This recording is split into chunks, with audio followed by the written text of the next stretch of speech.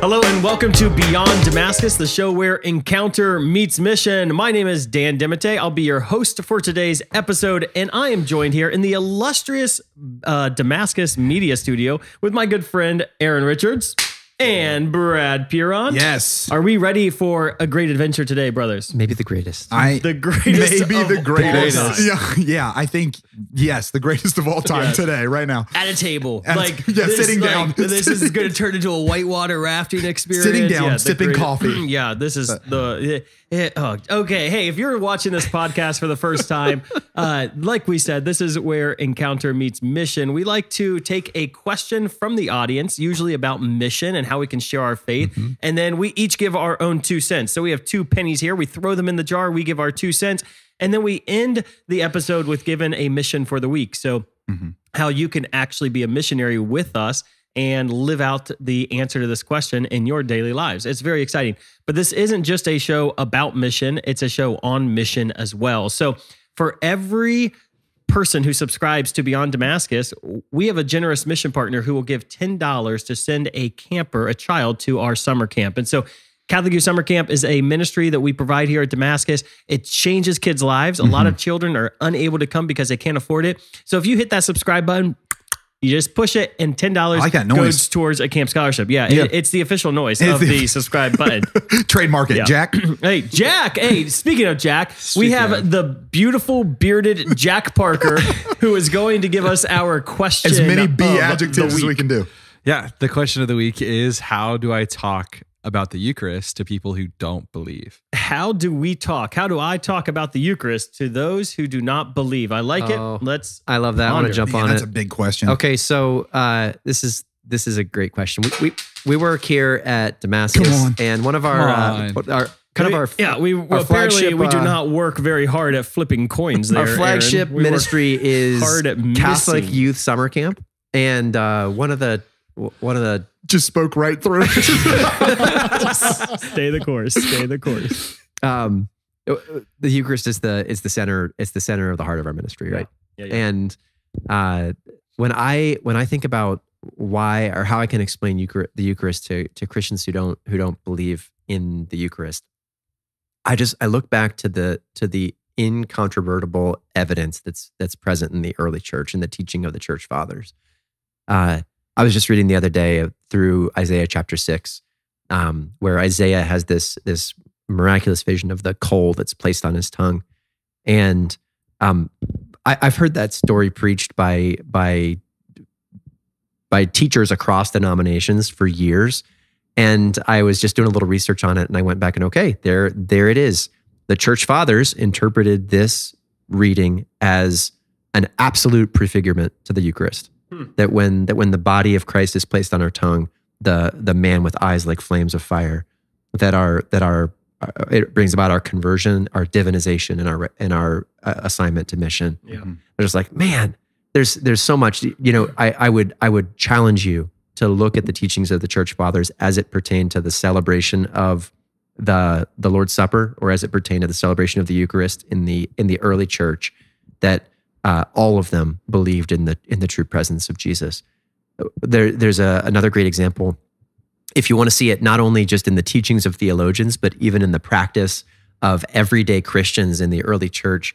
There's an amazing saint that we that we speak about here at Catholic Youth Summer Camp. That's why I brought it up earlier. Uh, his name is Saint Tarcisius. He was he was alive in the 200s. He was a Roman a Roman boy, and in the midst of the development of the church in a very hostile time, Saint Tarcisius was an altar server, and uh, for whatever reason, on a particular occasion, the church needed to transport a consecrated host, the Eucharistic body of Jesus, to from one from one location uh, where mass was being celebrated to another where somebody needed to receive. And Saint Tarcisius volunteered because it would be too dangerous for the priests to go out and to to walk amongst the hostile city. Uh, he volunteered to carry the Eucharist, and he held it close to his chest. And as he was running through the town, he was chased by a, a group of uh, individuals who, when they found that he was Christian, uh, persecuted him to the point of death. And uh, as he was being beaten and kicked and abused on the side of the street in the middle of Rome, he he never let go of the Eucharist that he clutched to his chest until he was finally approached by a soldier who was who was a covert Christian. Uh, and in his dying breaths, he he released his hands and was and, and gave the the Eucharist to this soldier. Like that that's the intensity with which everyday Christians, the priests and the theologians believed in the presence of the Eucharist for the first 1500 years of our of our history until the time of the Reformation when we when we decided to begin taking liberties with this teaching. Mhm. Yeah. Yeah. Yeah, it's, uh, I mean, you literally just Google church fathers and the real presence or church fathers in the Eucharist. I, I, and you have just, there's like just tons of different church father quotes on it. I mean, it's just Mhm. crazy stuff. Like here's um, Ignatius of Antioch from uh, uh, 110 AD, right? So this is pretty much right, like Yeah, pretty that's- doggone close, That's right? 10 years after the Gospel of John was written. Mhm. I have no taste for corruptible food, nor for the pleasures of this life. I desire the bread of God, which is the flesh of Jesus Christ, who was the seed of David. And for drink, I desire his blood, which is incorruptible. Right? Then he goes on uh, in a different area. He says, Take care then to use one Eucharist, so that whatever you do, you do according to God. For there is one flesh for our Lord Jesus Christ, and one cup in union with his blood, one altar, and there is one bishop with the priesthood or the presbytery. It's just crazy. I mean, they they definitely had this Yeah. passion for the Eucharist. That's right. Yeah. Well, I mean, even even when you when you read through Acts two, and and it's saying that they devoted themselves to the breaking of the bread and to the prayers, like Yeah. that. That's to what we now know as liturgy. Like that's what they were. They were devoting themselves to. Jesus said to pray like this, and, and he said to do this in memory of him, and he said that this was his body and that this was his blood, and so we we do this, and like there was such a commitment to that, even in the earliest part of the church. This is like right after Pentecost. I mean, this is birthplace of the church Yeah. just immediately after and then all the way into the church fathers and and i mean for the first 1500 years of the church like when you when you read through aquinas and augustine and you move all the way back to polycarp mm-hmm. and ignatius of antioch i mean it's it is oh it can it's overwhelming when I think sometimes when we, well, like, so what's the, how do I talk about the Eucharist to people who don't believe? I think it is appealing to a sense of reason. I remember when I didn't have faith in the Eucharist, I really mm-hmm. struggled as a, a kid, like just with the rational thought. You're telling me this is the body and blood of Jesus. Like I couldn't think through it, and so. But then some people like they gave me John chapter six, and they're like, just read John chapter six, what he says, and they gave me church fathers, like read what the church fathers said, and then they gave me John Paul II, like read what JP two said, and I, I just started reading and thinking through. I'm like, hey, this actually like this makes sense. Like Yeah. it didn't make sense to me. I couldn't I couldn't get the rational jump to say that this could possibly be true. But now I'm seeing it in the words of Jesus. I'm seeing it in Acts of the Apostles. I'm seeing it in the early church. And so then reason starts to kick in, which then allows you to submit to faith, right? The- I think what do they call theology? Faith, like uh, faith builds on uh, understanding, and so like uh, uh, like we want to under like we want to understand our what we believe by faith. Yeah, yeah, exactly. Theology is faith seeking understanding. That's That's, what- that's, that's yeah, that no, that's Aquinas, and I I think it's we. Well, I mean, if we're talking to our Protestant brothers and sisters, a lot of times they speak of impartation, and we speak about that in the church too. Um, peace be with you and with your spirit. There's impartation of peace. It's what Jesus did after the resurrection, right? So, um, God wants to impart His life to us. The, the church fathers are often seeing this as Jesus wanting to divinize us. Yeah. He wants to consume us from the inside out. So, to Aaron's point, like, how do I speak about the Eucharist? Confidently, Mm. confidently, because like, con confide with faith. Like, Mhm. like when I have faith and I can confidently just say, like, no, I believe in this, and and he here's some of my reasons Mhm. why. Like, not to be blown around by the winds of the time, but to stay confident in that. Now, listen to the things, but but you can stay confident, right? Yeah. Because of, I mean, all the things that Aaron was saying. That's Beautiful. awesome. I'll Beautiful. go next. I'll go next. Whoop, whoop. Yeah, yeah. All right. Um, so how do I speak about the Eucharist to people who don't believe? I think it'd be really fun to appeal to um, faith as well. So like appealing to reason and appealing to faith. So just really kind of lay out like Eucharistic miracles and and some of the Eucharistic miracles and you can just Google them, but just read about the Eucharistic miracles. I I, I can't for the life of me like uh, as I, I I read about these Eucharistic miracles, I'm like, I I don't uh, like this is insane. This really happened. It like so just appeal to these awesome miracles, and then I don't know, like I like to appeal to miracles um in my own life as well, right? Like how how has the Eucharist really impacted me and transformed my own life. So give testimony. Uh, You don't have to give theological doctrine on the Eucharist. You can just simply answer the question, well, why do you believe in the Eucharist? And you have a reason that you believe. And so learn to articulate your own testimony. What did God do in your life through the power of the Eucharist? And, you know, I was on a committee for um, uh, the Eucharistic revival, and we were talking about different ideas. And I, was, I started the committee. Uh, I mean, one of the meetings, I was like, we should we should just start every meeting by sharing about a Eucharistic miracle. And they're like, oh, that's a good idea. And they they research Eucharist and they start reading like the miracle of Lund. And I'm like, no, no, don't read a miracle that happened 500 years ago. Let's share about miracles that we have witnessed in our own life of people who have been healed or transformed by the Eucharist. And it was really cool because it forces us to say, okay, yeah, I I have I I I have a I know of a woman who was healed from cancer through through the Eucharist. I know someone who was healed in prayer ministry in front of the Eucharist. I know that, and and then you start sharing these stories, and it builds faith that wow, this is truly this this is real. That's and then awesome, Dan. uh, when you appeal to faith, I think put your money where your mouth is, right? So, what does um, Elijah do when he's trying to get people to return to the the living God? Well, he pours water on a sacrifice and he says, "Okay, hear me, O God, bring fire down." Right, and fire comes down.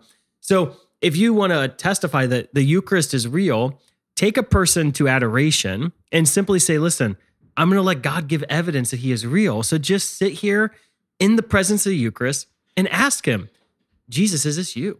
And I love this because so I've heard from so many of our campers who have done this where they're like, is this you? And then he actually speaks to them and mm-hmm. and and he shows them, he he manifests himself to them. And so you don't have to convince the person, just teach them about adoration and and let them ask him, are you who you say you are? And let him say mm-hmm. yes. That's really good. Yep.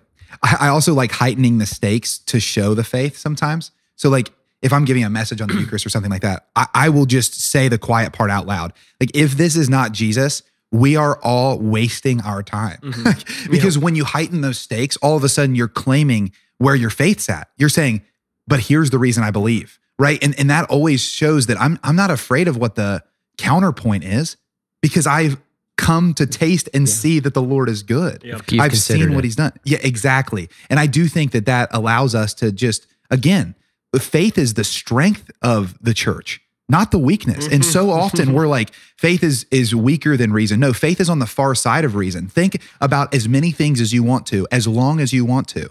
And yet there's going to be a gap. And whatever you fill that Yeah. gap with, you can call it mystery in the secular sense or you can call it mystery in the religious sense. And I fill the gap of mystery with faith. And Yeah. and I think yeah, because how do you get your mind around Jesus fully present in what is evidently to the eyes a piece of bread?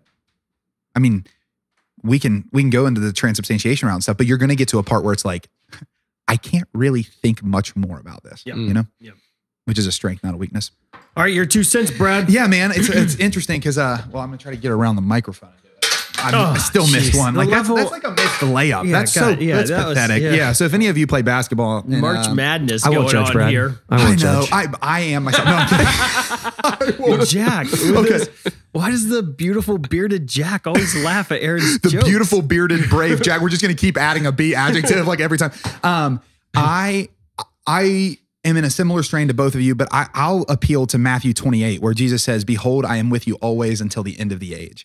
Like the best way to get people to start entertaining your ideas is seeing where you're in agreement, not where mm-hmm. you're in disagreement. And what we would all agree upon is that Jesus did say that. We would agree that Matthew, the tax collector who followed him, did attest to him speaking this. He said, Behold, I am with you always until the end of the age. Okay, so if we agree that he's with us always, it's not a huge leap to say, if he's with us always invisibly, which we would all universally within the Christian faith say, that he would also be with us visibly. Because the invisible God became incarnate once Mhm. for all. Mhm. So to say that he remained incarnational Mm. to his body, the church, is not a strong leap.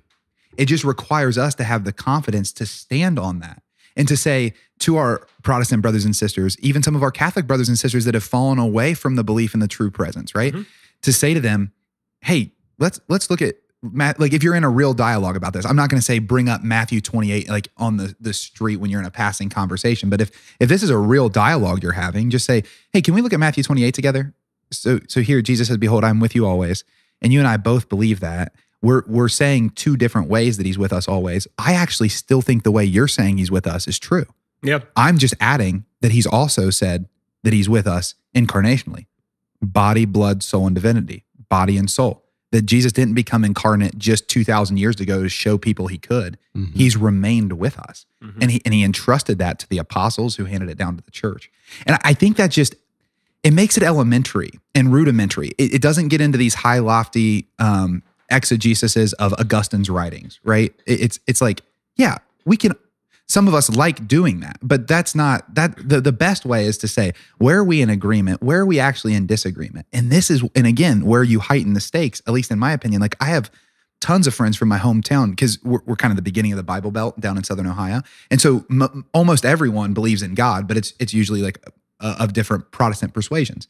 And so I'll be in Bible studies with them and I'll will regularly come to this. And what I what I regularly attest to is Yeah. is exactly what I'm saying. Hey, this this makes tons of sense to me. Here's why I've put my faith in this, and then continuously doubling down on that and showing. So again, I would say, um, how how should we talk about the Eucharist? I would talk about it confidently, and I would talk about it faithfully, but I would also talk about it in an informed way. And if you want to be informed, Matthew 28, I think, is the, the simplest way Yeah. to get to agreement. I love that. Yeah. feeling to the incarnation is beautiful. Yeah. I, I think that's so. The and it Because we does all it- agree on it. Yeah, and and it's it's why it's uh, like Aaron you mentioned at the beginning. This the Eucharist is the source and summit of our Catholic faith. The Catechism says, but it's also the source and summit of what how we minister to kids here at Catholic Yeah. Youth Summer Camp and Damascus Ministries is because the, the it's so incarnational and like they Right. want that like the human person is craving a, a, a tangible experience with God. That's like it, it- we we we want more than just the spiritual. Yeah. We want more than just we, Because we're in because space and time. Yeah, we're in yeah. space and time. Yeah, and Yes. so we need it, and so he, out of His goodness, His love, His Mhm. mercy, He gives it to us. Yeah. Well, if he would have wanted to make us angels, he would have, but he didn't. He put us exactly. Yeah. That's such yeah. a good point. Would you guys tolerate a little addendum today? Yes, I would a- love a it. Third Uh-oh. cent, a fourth cent. what, Well, what is your addendum? Uh, I'm just I'm surprised this didn't come up in any of our in any of our statements that i if if I'm really going to witness to the the real presence of Jesus in the Eucharist, I have to change the way that I approach the Eucharist. oh yeah, yeah, yeah. Completely agree. Yeah. Go further into that. Like the, if I if I believe this is this is God, I I have to demonstrate that not just through my teaching but by my example. Yes. That that like I, I can't say that and then also not spend any time with him. I Yes. can't say that and then also be distracted without concern at mass. Good. Uh, I, I really, I really, you know, I, I need to, I need to demonstrate by my lifestyle Hmm. that I'm no, I'm not willing to miss mass this week. Why? Because I believe this is Jesus, Yes. right? Because I'm, I'm willing to sacrifice on family vacation to leave my family behind and go and spend time with Jesus. Or, or where were you this afternoon? I was, I was in the chapel. Why? Because that's the lifestyle that I live. Yep. Yep. That's so good. Yeah. Because I, I was just uh, um, writing a talk that that had some of this in it. And yeah, I mean, well, we're incarnational. So the faith that we have, we we need to put into action, right? Yeah. Like we are saved by grace through faith worked out in love. Worked out like that. That is the beauty. That's the beauty thing. Is like Yeah. I'm partaking in the grace that's given to me, right? And like I think uh, the beginning of the catechism says, and I think I've quoted this before, but God, infinitely perfect and blessed in himself in a plan of sheer goodness, freely created man to share in his own blessed life. For that reason, at all times and in all places, God draws close to man. That's what we're saying in the Eucharist. That's why it's the source and summit because Jesus said he's the Alpha and the Omega. God's drawing close to you, so close to you that he's down the street in your church. He's like right down the street and go there on Sunday. And, and I think what breaks my heart sometimes is we go to this, this beautiful parish here in the diocese and there are so many families, and I know they don't mean it this way, but like they leave right after they receive Jesus. And it's like, man, if, if there's a way that the one night stand culture has made its way into the church, that's it. I come to get what I was looking for. And then I, it's like, no, though, like, oh, no, no, that's the moment where you're like, God, thank you. Change my life for the rest of this week, right? Like, engage that. I love that, Aaron. That's so important. And we did what kind of I think gloss over that. So I think that's We important. did, and, and uh, Jack, could you please make note? This was the this was the episode I knew where. Aaron violated the format. I knew okay? it. Dan and I have done does this not religiously. Violate the format often, but he did. And so, and Brad, could you please tell us what does Catechism twenty seven thirty nine say? I, I don't know, but Oh, I you do. didn't memorize the whole No, thing? no, Dang it, no. okay. I, uh, I have certain. All right. Well, since I will abide by the format of the show, this is the point of the show where we move on from the question of the week to the mission of the week, where we And grill Brad with questions on the catechism. we want to see uh, what what mission you have for the week based off of this question. So, anyone have a mission for the week? I've got a fun one. All right. Yeah, do it. Okay.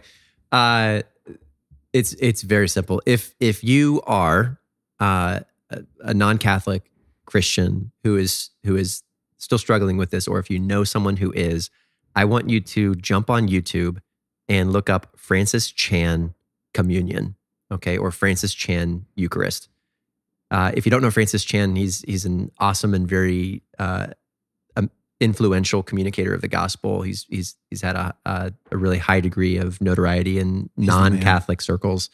Um, I love him. Mhm. Uh, he's really changed my life through his teaching. And Francis is is a man who has never been afraid to pursue truth, whatever the cost. And in the last probably five or six years, uh, Francis himself has begun an investigation into kind of some of the things we talk we've been talking about regarding the history of the church and looking back to the fathers and what it is that the church taught without error or without variance for 1500 years regarding the Eucharist and has has really stepped into a place of of kind of making a statement if if this is what the church says is true then I'm going to shift my whole lifestyle of preaching to make this its center uh, it's just some very awesome convicting uh, reality That's that's good. Yeah, and I, it's amazing what God is doing in our Protestant brothers and sisters Yeah. across the globe to bring them into a deeper faith Yeah, yeah. Uh, in the real presence. And and granted, they're not there yet, right? But the it's like God is doing something to Well, bring them into an awareness of His. we're, that we're in the midst of the uh, Eucharistic revival right now. Yeah. And a number of non denominational Protestant organizations and churches from around the world have sort of collaborated to declare this communion revival time, Right. um, where they believe that unity in the church is going to be restored through understanding the presence of Christ in communion. Yeah, it's If- crazy. If, if, you, if, you, if you try to paint with sweeping judgments as to what Protestants believe, uh, there are many non Catholic Christians. Um, I don't know if it's the minor- minority or the majority who actually do hold to, uh, to the best of their degree, uh, to the best of their capacity, a scriptural perspective on the real Mhm. presence of Jesus in the Eucharist. The ones who we typically would identify as not believing that would be the ones who are kind of a, a part of the mainline Protestant, Sure. uh, Lutheran, yeah. um, Presbyterian, yeah. sort of everything that came directly out of the the Reformation. Yep. Your Calvinist persuasions. Yep. And it's not, I mean, not not that you're suggesting this at all, but for our listeners that may not know, so we we as Catholics believe it's not that the belief in the bread is what makes it the real presence. It's, Sure. it is the the apostolic uh, priesthood that has made it The, real- substance yeah, yeah. differently. It's Yeah, yeah. it's And- transformed. And so there's that, but God is renewing their minds, and he and and hopefully God will bring people back into union with the church, so that we are, are Yeah. all one. Why? Because the Eucharist is meant to be the the the source of unity in in the in the faith. So the mark of oneness, the mark of community, is the body, blood, soul. It's called communion. Yeah. Yes, common union. That's yeah, what yeah. it is. Um, I, I have a I have a mission of the week. I think um, for those of you who are listening, I think on the other uh, other side of the the fence that that are Catholic, I want to encourage you this week to go to a time of adoration or prayer with the tabernacle, or go to a daily mass you usually wouldn't go to this week. And when you're there, engage with Jesus like he's present like he's there, like he wants to speak to you, like he wants to do things through you, like he wants to commune with you, like he wants to literally consume you from the inside out. Like, because I think when we start doing that, we start just being the Christians we were made to be. So again, just find a, a church close to you, maybe on the way home from work, maybe on your way to work, go to a daily mass, go in there for 15, 30 minutes, an hour, and spend time with the tabernacle or with adoration. We can all find those pockets in our day. I think that would, uh, it would be a, a first step in a, a real transformation. It's a good mission of the week. My mission of the week will be if you attend a weekly holy hour, um, then invite someone with you this week uh, that doesn't really believe in the Eucharist. Just give it a shot. And they may say no, but at least you invited them. And if they say yes, then their life could be changed forever. and maybe even So- seek a yes. Like if they say no, maybe ask another Yeah, person. who exactly. say Yeah, yeah, go after it. All right. Um, awesome. Those are good missions. My friends, thank you so much for joining us on Beyond Damascus, the show where encounter meets mission. Uh, I am so grateful for your uh, joining us. I don't know what I was going to Yeah. say there. Yeah, yeah. But um, we would love to encour- encourage you to share this episode with anyone who maybe is struggling with their belief in the Eucharist. So feel free to hit the share button, send it to a loved one, a friend, whatever. If Mm-hmm. you have any questions you want us to answer, uh, make a comment, send them uh, to us, and we will be happy to answer them. Join us next week on Beyond Damascus. And remember, Mission makes Mission sense. makes sense. Oh. C E N T S. Brad, you were Get it? so delayed. Uh, but it was- you're supposed to join in all the way. Let's try Ha- again. have Let's a try great again, week, friends. And remember, Then mission makes makes, sense. sense. Get it? all right, God, we'll see you guys.